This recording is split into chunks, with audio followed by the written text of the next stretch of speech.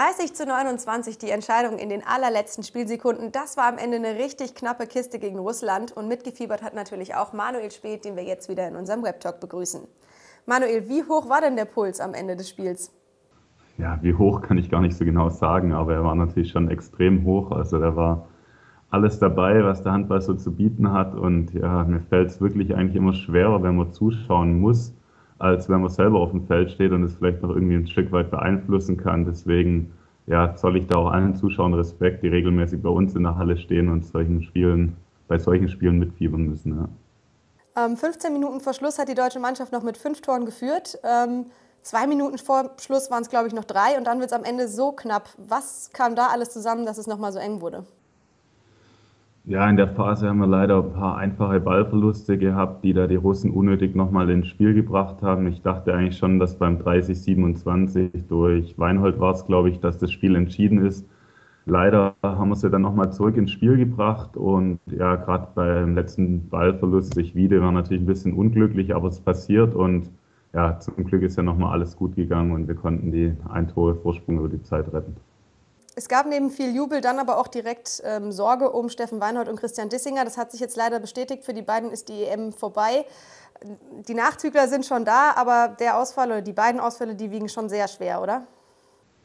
Ja, das kann man schon so sagen. Klar, Kapitän Steffen Weinhold und auch Dissinger, die sind enorm wichtig für das Team, haben auch super Leistung gezeigt bisher.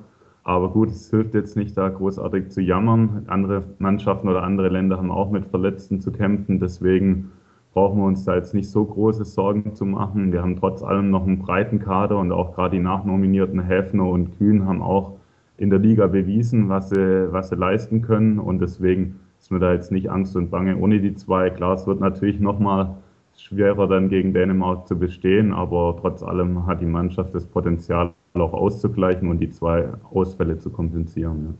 Ja. Ähm, jetzt hat die Mannschaft ihr Endspiel am Mittwoch, ihr Endspiel ums Halbfinale gegen Dänemark. Das ist eine richtig, richtig große Nummer. Wie sind die zu schlagen?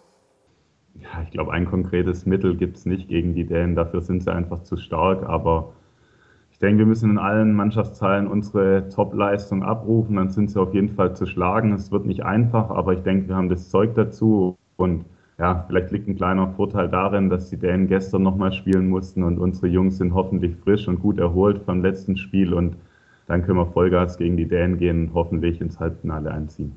Ja, die Chance ist da, man hat es noch selbst in der Hand und jetzt heißt es erstmal Daumen drücken und dann wissen wir am Donnerstag mehr. Vielen Dank, Manuel. Danke auch.